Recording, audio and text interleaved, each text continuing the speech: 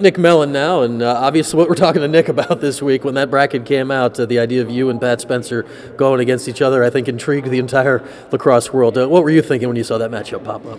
Honestly, you know, uh, obviously I, am ex- I'm excited to you know figure out who we were playing against. Um, you know, there's kind of speculation going on you know, the whole week leading up to it. Mm-hmm. Um, not really knowing who we were going to see, but um, you know obviously it's an exciting feeling knowing that we're going to send down to uh, Maryland again and you know play a good Loyola team. Uh, it's going to be a great great game, great matchup.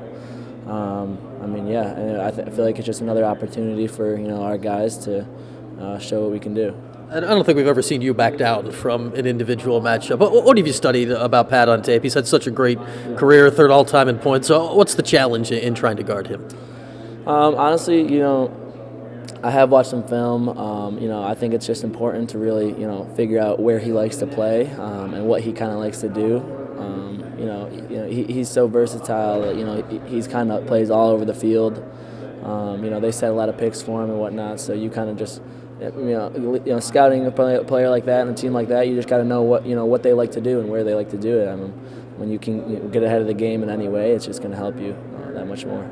I think Nick, we know this that defense is a team thing, but there are the one-on-one matchups, and your guy, whoever it is, has not scored a goal since March. How, much pride do you take in a crazy statement like that? Uh, I mean, I, I, don't really take a whole lot of pride in that. Um, I don't really think about that week in and week out. I kind of just take every you know matchup and every game, you know, week by week. Mm-hmm. Um, and, but like looking back, when you hear that stat, hear that stat, obviously like you know I can only be grateful, um, great, especially grateful for you know, just the program that I'm in and the support that I have, you know, with the players around me and, you know, our coaching staff. I mean, um, you know, obviously, I, I, personally don't think that stat would even be a thing if, you know, you know, the other five guys I'm playing defense with weren't on their toes, you know, every game. So um, it's, it's a good feeling, though, for sure. And if you hadn't won a bunch of the games, too, and you've won four of those five games. I was talking to Marcus earlier this week, and he was excited about your matchup as well. And he said something that knowing what you have done successfully – gives confidence to the rest of the defense that they know they don't have to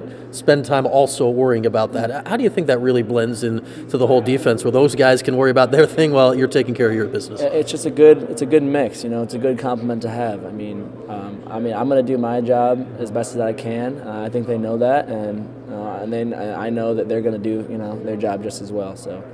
Um, it's it's 100% a group effort. You know, it's I know like you know there's a lot of you know attention on like the one-on-one matchups, but behind the scenes and like you know within the X's and O's, like there's so much more that goes on.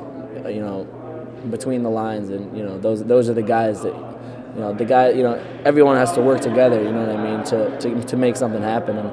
I think that's where the attention should be, but you know I also understand that you know this is a pretty anticipated matchup, um, and you know, believe me, I'm taking it very seriously, and I'm sure you know Loyola is as well. So, um, you know, we're just going to kind of go out there and try not to throw any crazy schemes at them, but you know, just play our game the best that we know how.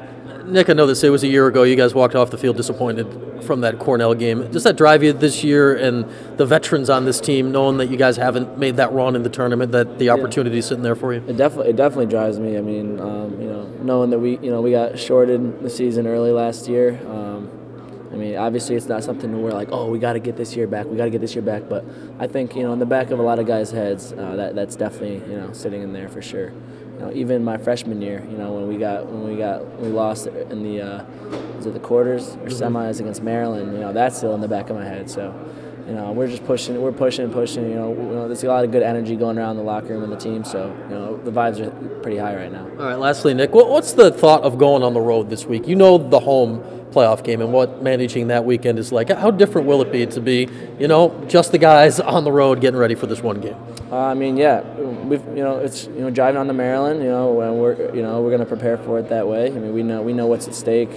We're to get down there, stretch out, loosen up, get rid of the bus legs probably practice before we leave tomorrow, and then when we get to you know Friday at Maryland, we'll have a nice little light practice, get the legs flowing. So, you know, I, I don't really think that matters, um, but you know, we're gonna be ready to go either way. All right, Nick, enjoy it this weekend. Thank you.